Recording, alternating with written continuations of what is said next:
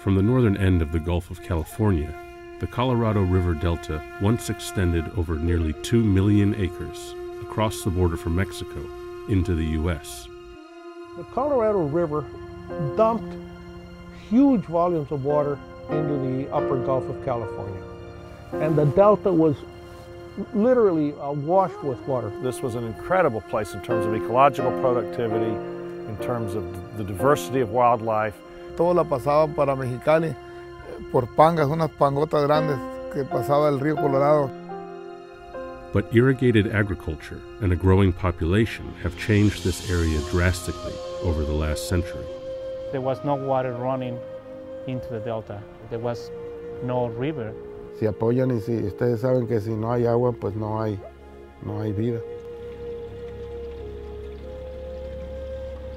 This is Morelos Dam. It's the last dam in the Colorado River. Most, most of the time, the, the gates are closed because all the water is allocated to the cities and agriculture. What remains is a network of canals taking the river's water everywhere but the delta. The delta of the Colorado River is probably one of the most degraded ecosystems in North America. Many people had the impression that the delta was a dead ecosystem. That wasn't the truth. If you add water to the delta, the habitat will come back. And El Nino flooding in the 1980s and 90s proved just that. Here comes this water and boom, the riparian corridor just revegetated itself.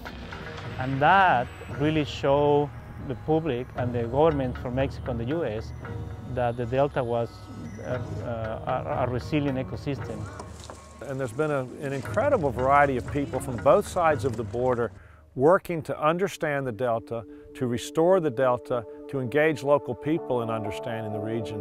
The Sonoran Institute, with its partner ProNatura, has accumulated decades of research in combination with their own studies, implementing projects throughout the delta in an attempt to restore its ecosystems. We view the restoration project as involving five very different types of activities. First is community engagement. That is the core of everything we do is working with local people so they can see the value of the river.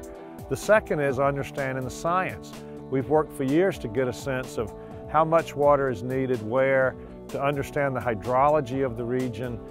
The third piece is economics. We have to be able to show the Mexican government and the U.S. government that there are tangible significant economic benefits to restoring the delta. And the fourth is you've got to show people demonstration projects. You've got to show what restoration means. We can't get anywhere until people can see that an area can be restored with a modest amount of water, a modest amount of, of financial input, and then it's a healthier area for people, for birds, for wildlife. And then finally, to get the policy changed so that we can buy water to restore this region. Water is the, the key element in, in restoration in the Colorado River Delta. What we have been doing is uh, purchasing hectares of water rights and we are dedicating those water rights for the river. For the basic restoration activities, requires about 50,000 acre feet.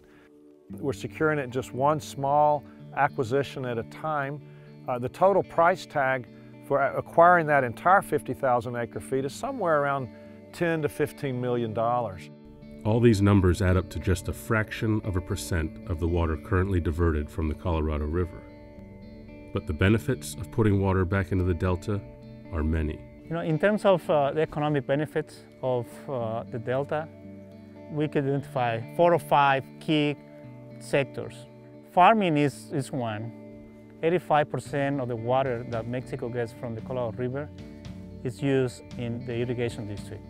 Tourism, you know, we get a lot of hunters, mainly in winter for waterfowl. Another type of recreation is really important in the Delta.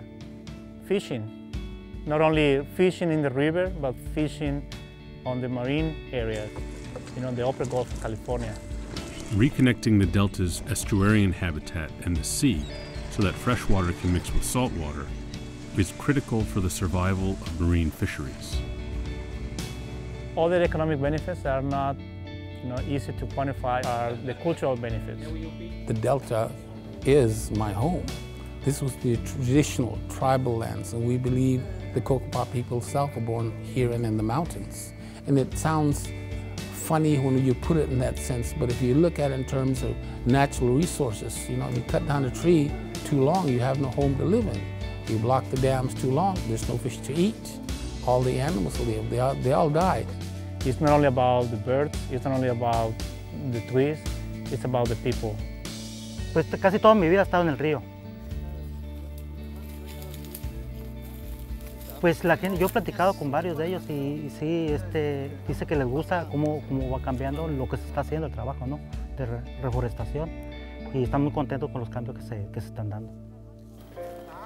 What the Sonoran Institute does is bring people together. to trying to find ways to improve the quality of life of the people, to improve the economic development of the region, and of course to improve you know, the habitat and the wildlife here in the Delta. Local staff have collected hundreds of cuttings of native trees and have cultivated them by the thousands, transplanting them at the restoration sites. Pienso que pues poco poquito eh, vamos a ir haciendo más y más árboles hasta llenar los espacios que queremos, ¿no? With enough water to sustain these protected areas, the Sonoran Institute plans to open the sites as parks for the local people and tourists to recreate, something that has been missing for a generation or more. For the people that come here to have an experience of the site and to realize that and know the place and realize that many things can be done. My father used to take me uh, camping, fishing when I was a kid. So I enjoy that. I got actually connected to, to nature. And here in the Delta, many people didn't have that opportunity. But now, you know, with, with the restoration efforts, uh, I think people are, are actually impressed and, and, and are willing and, and committed to, to support and participate in restoration efforts. We've been working here since 1997. We've seen tremendous progress in the last 13, 14 years, and we see tremendous progress ahead of us. We have the political will and support of communities and the government. Now we require the funds to you know, scale up the restoration projects, secure a base flow for the river, and also you know, to, to involve more, more members of the community. The future is that we have to work not throughout borders, but throughout the ecosystems themselves. But we can preserve what is left and build up to, to uh, in certain areas where we can say, look, this is how it used to be. Posiblemente va a estar difícil, ¿no? Pero yo creo que mucha gente le gustaría mirar el río como estaba antes. If the Sonoran Institute and its partners secure the water they need, the Delta could return to a vibrant ecosystem, and the Colorado River could reconnect along its entire length, once again reaching the sea.